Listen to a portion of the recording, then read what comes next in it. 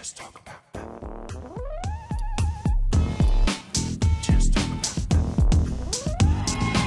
Ladies and gentlemen, the cast of One on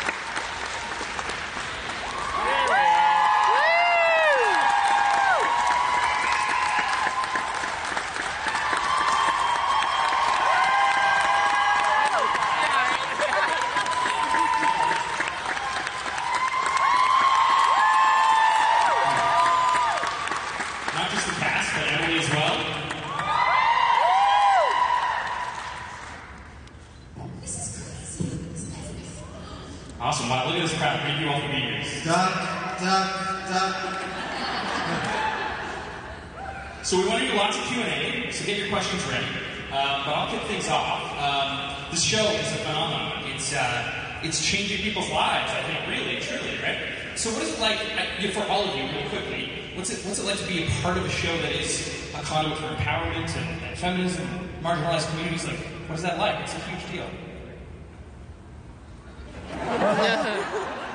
Emily, what's it like to be the drag queen? It's beyond my wildest dreams. I mean, I still feel like I'm probably dead and this has happened, which is fine.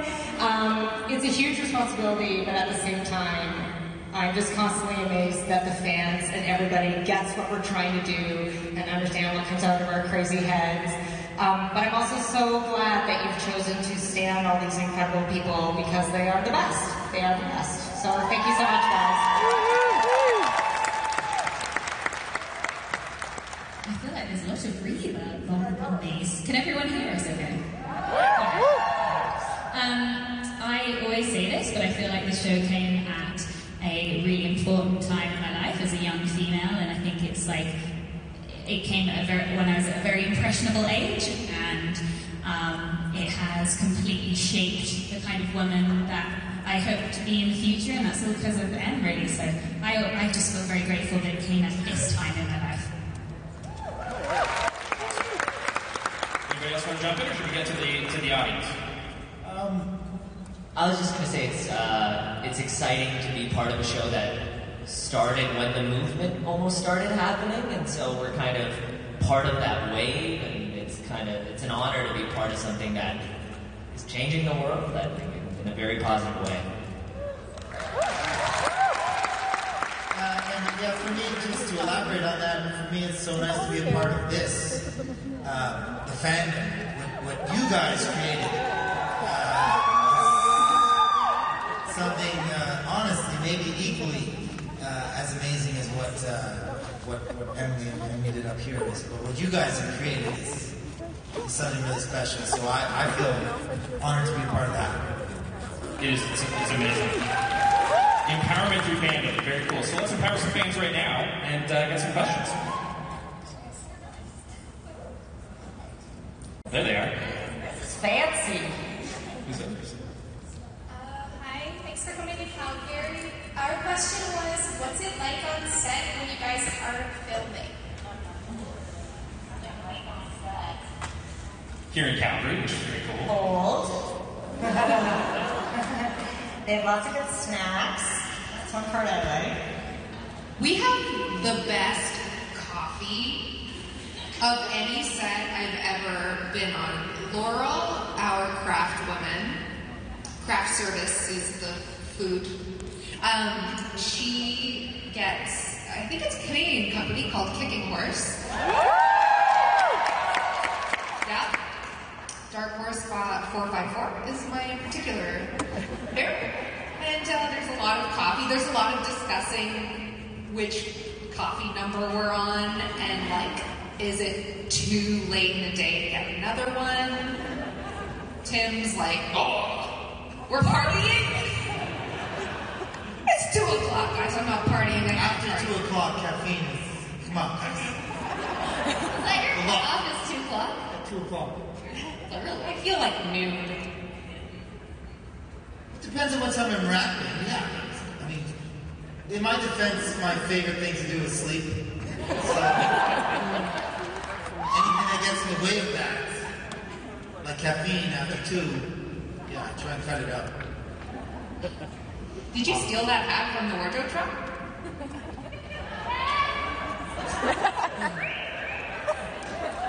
I guess they called me out in front of everybody. I stole these from the wardrobe truck.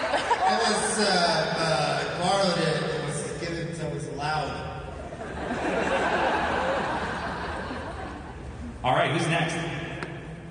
Hi, thank you again for all of you for coming out. My question is actually from Melanie.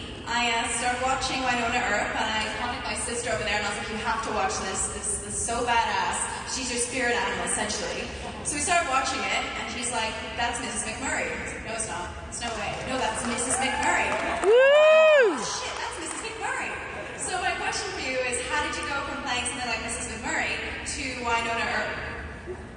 I mean, it's the same person, just different town. Yeah. Um, no, Mrs. McMurray is just like uh, I do. There, it's funny though. A lot of fans of this show are fans of Letterkenny, and I, I don't know if it's the small town thing, but um, I don't know. Just all, honestly, my process is I put on fake nails and and start swearing more to play Mrs. and I mumble. That's my process. Um, but. Uh, yeah, and then Wynonna, they just put more hair on my head, and now I'm Wynonna. Yeah. Did that answer your question, or did I just go somewhere? I didn't. I didn't. I can tell on your face I didn't answer the question. It's a good story. Thanks. Uh, who's up next? didn't answer. What was the question? Oh, I answered it. Okay. You nailed it. Go ahead. Um, first off, I'd like to thank Melanie for the Mentos. Thank you. and um, my question is for anybody who cares to answer. Um, whose storyline can you relate to most? Whose storyline can you relate to most, personally? Um, for me, it's got to be Wynonna. Just, I really love the idea of. I'm really interested in the idea of geography as destiny and the idea of growing up somewhere and maybe being labeled um, for something you did when you were a kid or without room to grow, if that makes sense. Like, I really like the trappings of a small town. At the same time, it's a gift because people know you really well. Um, I just really feel like I relate to that, just trying to kind of break out and become who you want to be versus who everyone tells you you are. Um, but I think in a weird way, because I like to tell that story so much, I feel like all the characters have that have that story. Um, Waverly and Nicole and Doc and Jeremy and even Nedley, they are truly, you are watching them become the people they should be and can be if they just have people who believe in them and support them and if they learn what they're really capable of. So I'm just interested in that story in general, but I definitely think like Wynonna is the story of just the reluctant hero coming into her own. So.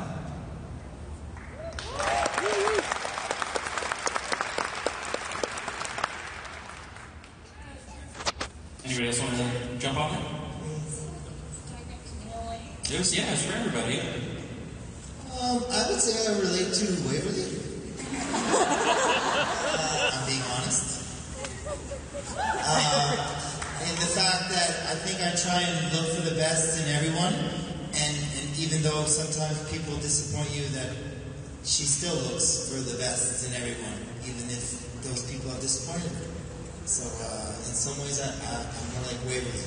I've definitely I haven't lived in a well for 150 years, so knowing exactly what a dog is like, I can't say that I was a dog.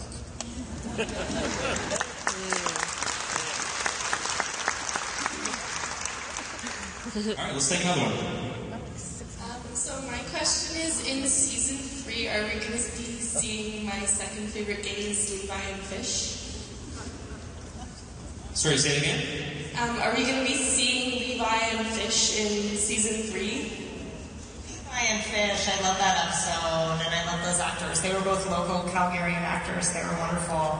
Um, well, Wynonna sent them to hell. It's not my fault. She, uh, I told her not to do it, and she was like, "No, I'm going to send them to hell." Then I'm going to have sex with Doc in the woods.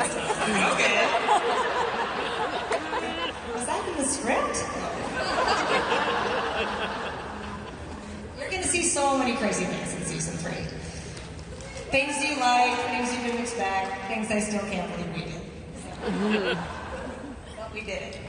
Speaking of local cast, Greg, what's the experience been like for you being part of the show as kind of the Albertan?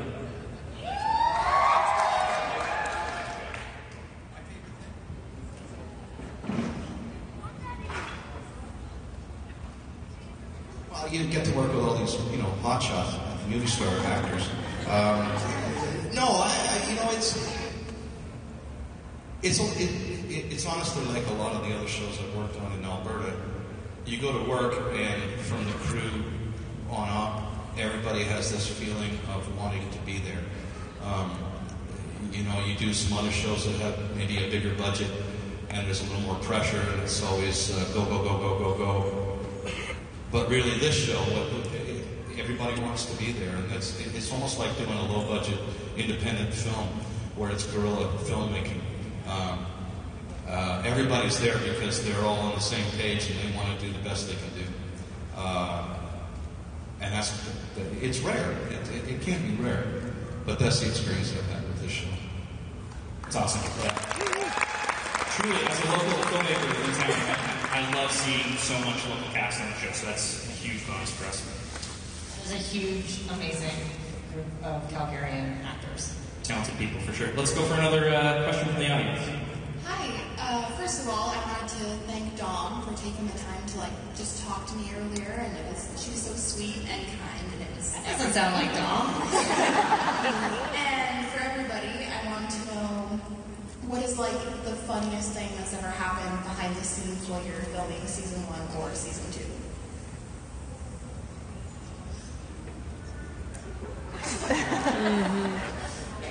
Tim's got a devilish grin on.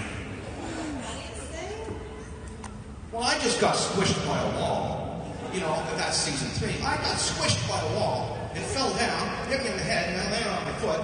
And when something like that happens, you know, you expect to get a wild card. Or something.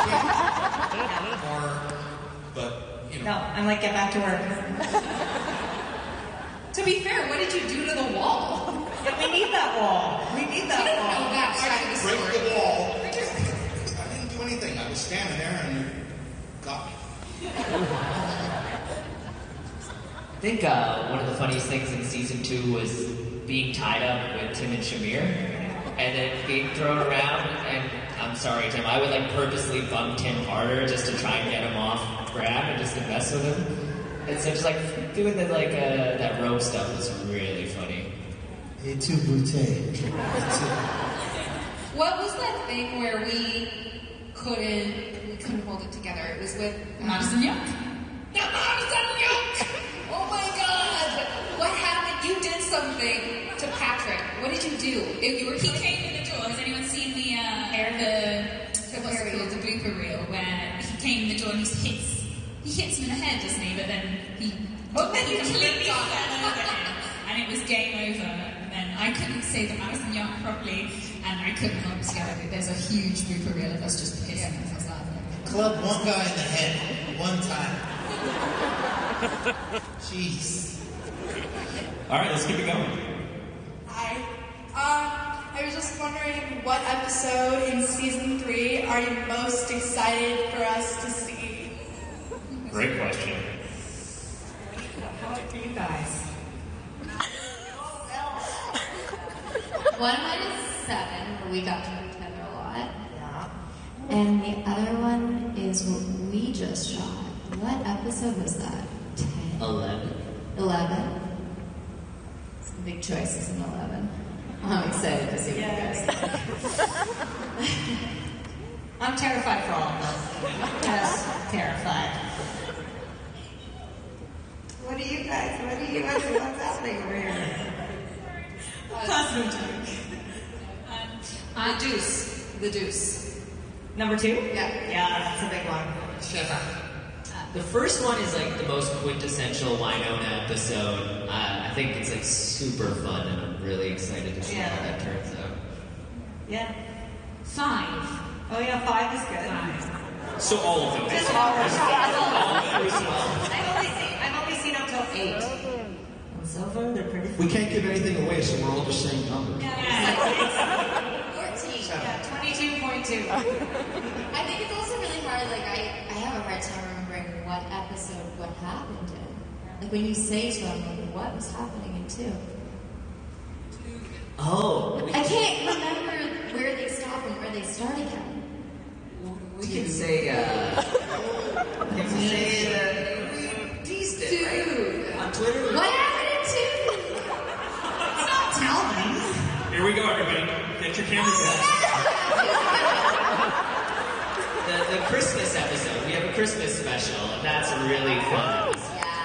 That's what we Spoiler Oh, sorry. Then. All right, who's up next? Hi. Um, so I just want to say that uh, Melanie, I greatly admire you for doing season two while pregnant. That is huge. um, and also, was that always going to be part of season two, or was it just going to be like, okay, here, here we go? I was like, can you get pregnant? And she was like, yes. It was not part of season two, um, but it was the best thing that happened to season two, I think. Yeah, yeah no, guys are all good too. It was, um, uh, okay. Tim drunk. this is true. This is true. Tim has a restaurant that you should go to that serves alcohol. And I don't drink, so don't give me alcohol and you know it. And then I'm pregnant, and then I have to tell Emily that I'm pregnant. So I'm like, P.S. I know you already wrote like eight episodes, but can you just scrap all of those? and just real quick deal with this. Hot potato, bye! I feel like I handled it okay though. Did I or no? You were an actress, so I was like, okay. No, it's fine. you were great, but it was it was on my end. I was like, this is the end of the world. Like this is the best thing that's ever happened to me. I guess I'll just throw it all away. So I like a challenge. In-person conversation? Oh yeah. there was Starbucks. You don't do that over the phone. That was a text. It was just a text. Lots of emoji. It's the pregnant about. But you're right. Mel really did that. She really did that right up until her ninth month. That was amazing. All right, who's next? Hi, this is actually a question for Emily. How much from your time with Lost Girl inspired and made it important for you to have WayHaught? Um, that's a great question. I mean, Lost Girl totally changed my life, right? It just really taught me the type of genre I wanted to write, and that I only wanted to write genre. Um, I like to think like um, inclusivity was always going to be important to my writing. So regardless of Lost Girl, I think it would have been important for me to have WayHaught. Um, for us to have WayHaught. But Lost Girl just taught me, first of all, how smart the genre audience is, how hungry they are for representation, how far you can take them. Like, they are already there, I say, with a big spoon for the ice cream. So, like, you can really push the genre elements, which is so freeing as a writer. It's amazing. It doesn't matter if the costumes don't look perfect, as long as the genre is fun and the characters are relatable and the relationships people are invested in. So I have a huge, huge debt to Lost Girl. Lost Girl changed my life. I and I keep just stealing actors from it and putting it on my show because I'm like, oh, they're so good. But um, I will feel forever be grateful to Lost Girl and forever be grateful to Michelle Lovretta, who created Lost Girl, who is now doing a show called Killjoys, which is an amazing show. She really just was fearless in a way that just inspired me. And also, when in doubt, she was like, let's just make it fun. And I was like, that's incredible in Canadian TV for someone to be like, what if we just made it awesome? And I was like, what if we did just make it awesome? So now that's what we're trying to do. So thank you. Thank you. Let's keep it going. Again, another question for Madam Producer. Um, since You were so involved in Lost Girl, and you're so involved in this. I was wondering, is there any chance that they're taking place in the same universe, and any possibility for crossover characters to show up from Lost Girl? Hey, um, Damn. Who do you think would win, Bo or Wynonna? Right answer. That's the right answer. Um, I don't know. It's hard. I like to think. Sure, I'd love to think they're both modern day, so it's certainly possible. Lost Girl was Toronto, and um, Wynonna Earp is Alberta. Um, I don't own the world of Lost Girl, so I'm going to say yes, absolutely, 100%. That's a guarantee. Great question. Go ahead. Hi, uh, my question is for Tim. Uh, you and I were talking earlier about Val Kilmer absolutely killing it as Doc Holliday. And my question is, what does it feel like to step into those boots of such an iconic character as well as historical figure? Uh, I'm your Huckleberry. Uh, I went from pure ecstatic joy getting this part to pure panic in a matter of nanoseconds. Uh, and it's because of Val Kilmer's performance in Tombstone and how many times I had seen that movie. Um, so for me, it's just an honor. But at the same time, I made sure not to rewatch Tombstone and not to touch that in any way, and uh, just to do my version of, of what I think Doc Holliday is and who he is. And uh, yeah.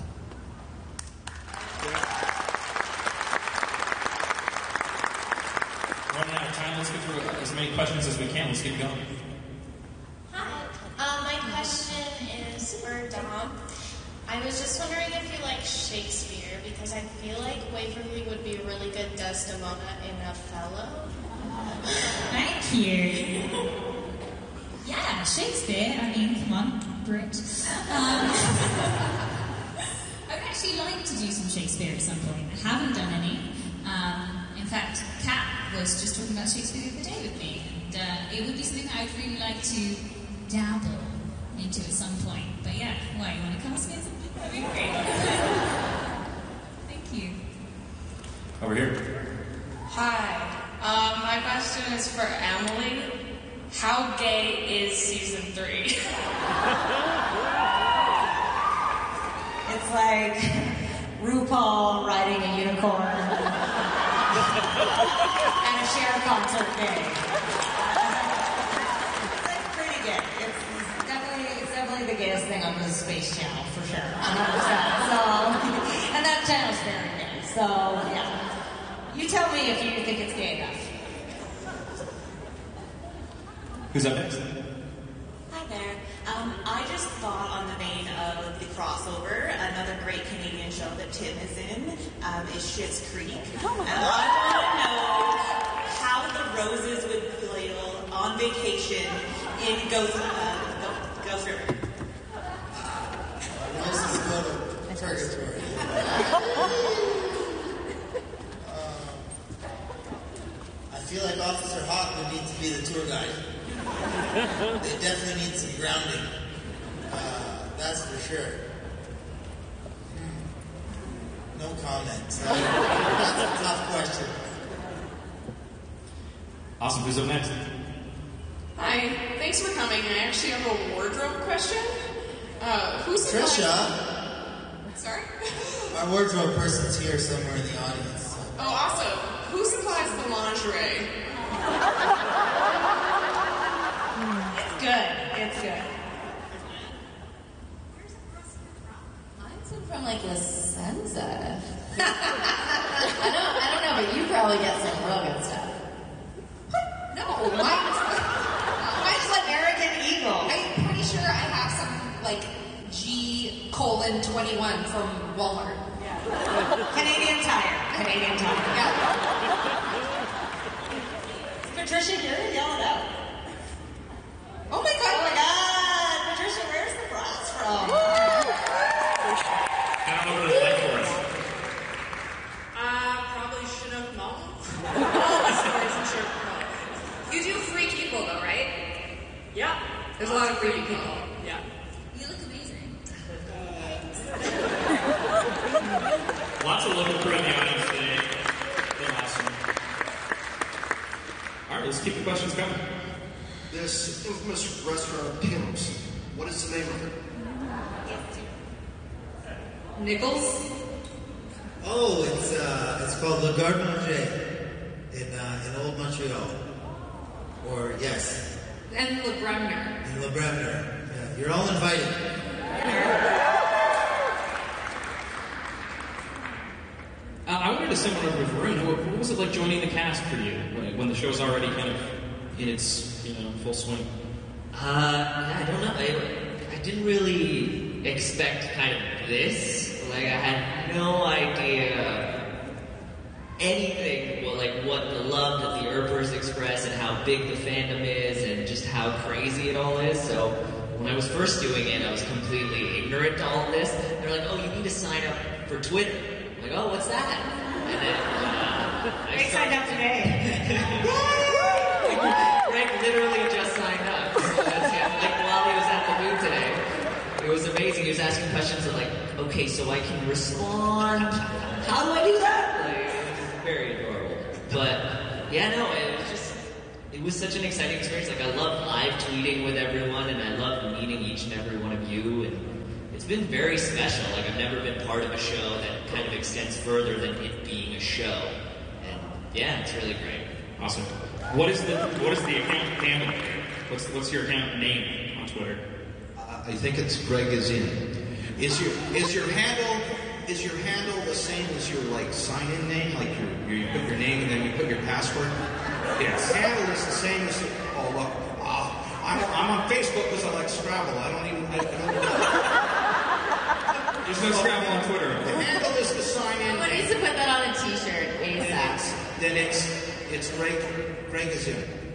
Greg is in. Greg is in. Awesome. Follow. him. His first day on Twitter. You gotta follow. him. All right. Who's up next for questions? So I wanted to say that I'm so excited that you guys finally came to the Calgary Expo. The YYC Earpers and Alberta Earpers are so thrilled to have you here. And I was wondering, so Dom, with your whole Start the Wave initiative that you kind of started you're focused on kind of being more mindful about the environment, and I see the cast has all got like those agreed to color bottles, and um, like how you and Kat wore the secondhand outfits to ClexaCon. I was just wondering how much of that translated into when you were filming season three. Like, did you go thrift shopping for Waverly's outfits at all, or anything like that? I was curious how much of a role that your passion for the environment and making the world a better place played when it came to the actual production process, if that makes sense. Um, unfortunately, we can't shop secondhand for costumes simply because we always need to have multiples of the same thing. Had a really good conversation with Jen, actually, who's our amazing costume designer, and uh, she was saying how she would love to, you know, she's a big vintage fan and whatnot, but of course we need to have multiples for stunts and also for like breaking down, like if we're if we have wear and tear on them. Um, so unfortunately, I haven't. Oh no, there is something, isn't there? I'm not going to tell you yet, Haley, because I want to be surprised. But you will it has certainly influenced uh, season three in one episode in particular, which I was really, really happy and excited about. And I think just in general, it's been for me like one of the most rewarding um, seasons because obviously when I started, um, I bought everybody a water bottle and um, I, had, I sent an email to the producer and said, like, this is something I'd really like to do. Would you be on board? And he was very, very supportive about it. But he said, to be honest with you, in the past I have tried to implement this kind of thing and it hasn't been very successful. So I was kind of like, well, I still want to do it just in case. And to see the amount of water bottles that we've managed to eliminate, like, and we, like Mel's got hers on stage here, it's so nice to see how many people jumped on board and really have started to kind of think about it more. And, and um, so yeah, I'd say that it, it definitely has changed the vibe on set, and I'm really, really happy. Yeah, thanks for asking. We've got Cameron from Ferris Bueller over here. Hey, aren't aren't you on the show this year? Yeah, yeah, I am. Uh, I'm just wondering, besides getting crushed by a wall, if anyone has any other on-set notable injuries. Notable injuries on set. I, yeah, I, the first time I met Megan Follows, I was trying to be super, super cool, and I tripped over the soundboard and like three bananas I'd stolen from craft fell out of my bag, and I didn't know the soundboard tech that day, and she was super duper impressed. She was like, "Oh, do you have a potassium problem?" And I was like, "You were Anna Green Gables." That was the whole conversation. So the writer isn't allowed on set that much. Any other injuries? Close calls? Well, I got squished by the wall. oh, yeah, the wall. You know, it- it's, it's not in an episode. It's not in seven or twelve or eleven. It, it, it happened on set, and I got squished. Now, when something like that Wait, happens, it didn't happen on set. It happened outside. well, it happened set. outside, And kind of in the parking lot. And I was at work, but did I get a good get well card? or candy, or flowers, or anything? Nothing. But we got the day off, so thank you.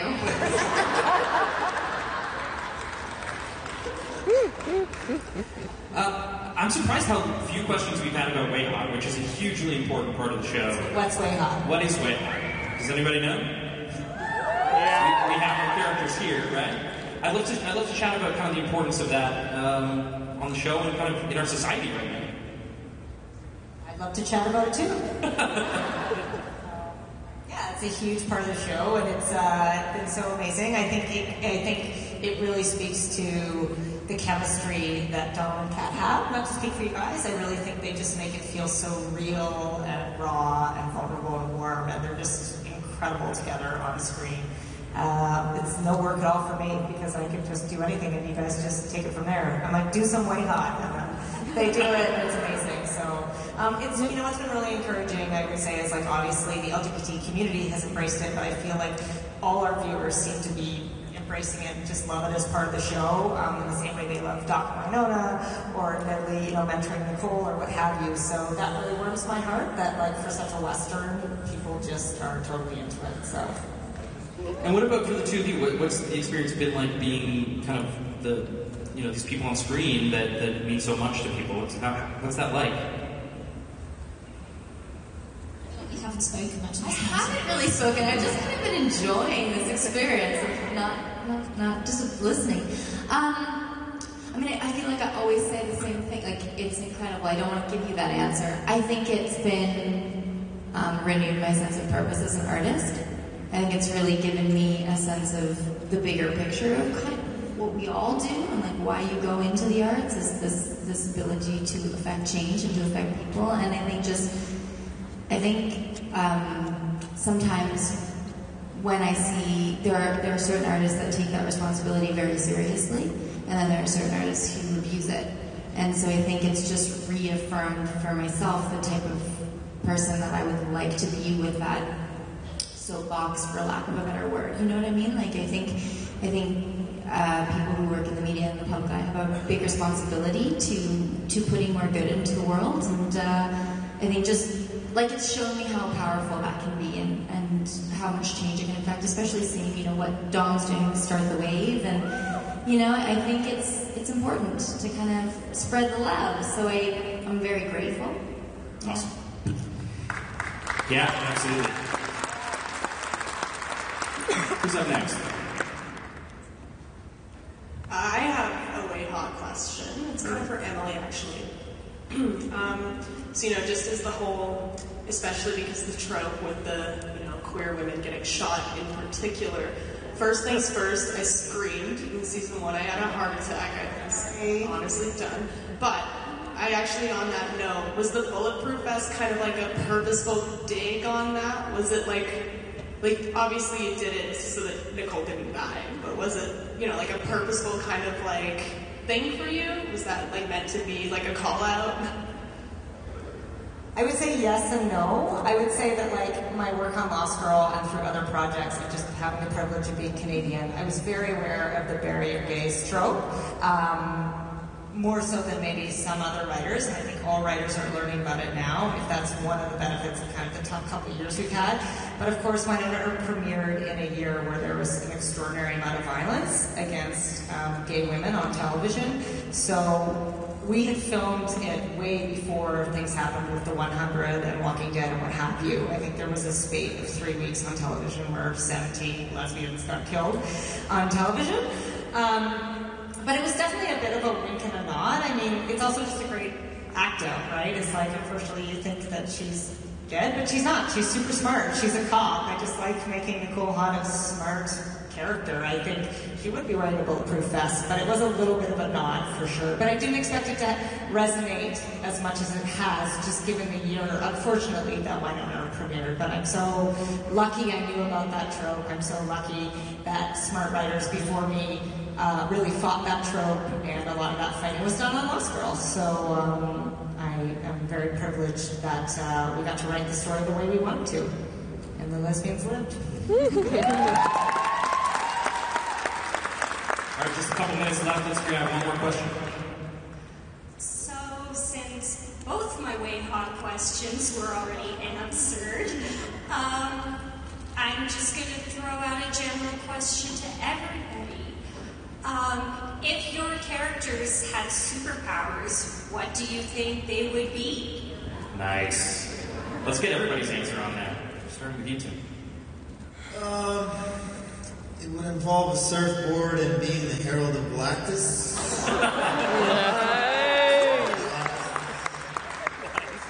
I think Doc will look pretty rad up there uh, on the surfboard. Plus, he's kind of he's got a lot to deal with in season three. So I think if he was in space on his surfboard, he could contemplate life and some of the decisions he's made. Kind of like the Silver Surfer would. Uh, well, as you know, Jeremy has powers, and it originates from his groin. So, This is a family show, Jeremy.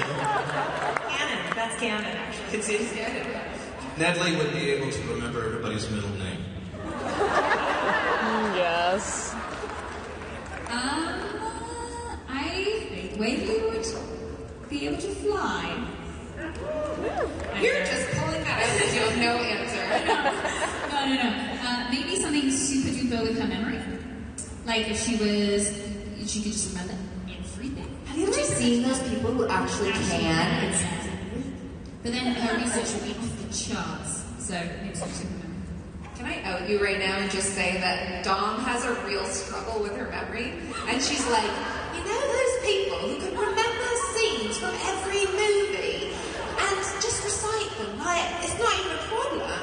I can't do that. I literally forget things like uh, from a week ago. It's so sad. so yeah, I would. Probably, that's probably my That's pick. a really good one.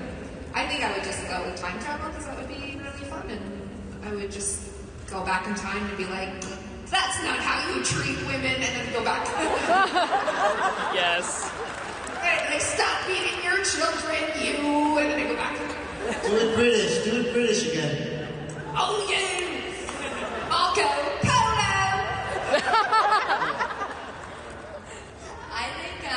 I think Nicole would like the ability to divide herself into like multiple versions of herself, so she can get more done. So I think she works in a severely understaffed office. I think she needs to be more of her to deal with all the things. For you. I would just stop time so I could get some scripts done. I was like, oh my god, I need to just take a nap. Well, everybody, that's all the time we have. Uh, huge round of applause for this wonderful cast. Thank you for watching the Convention Junkies coverage of the 2018 Calgary Comic and Entertainment Expo. Please like, comment and subscribe to see more. If you would like to help us with future projects, please visit our Patreon page.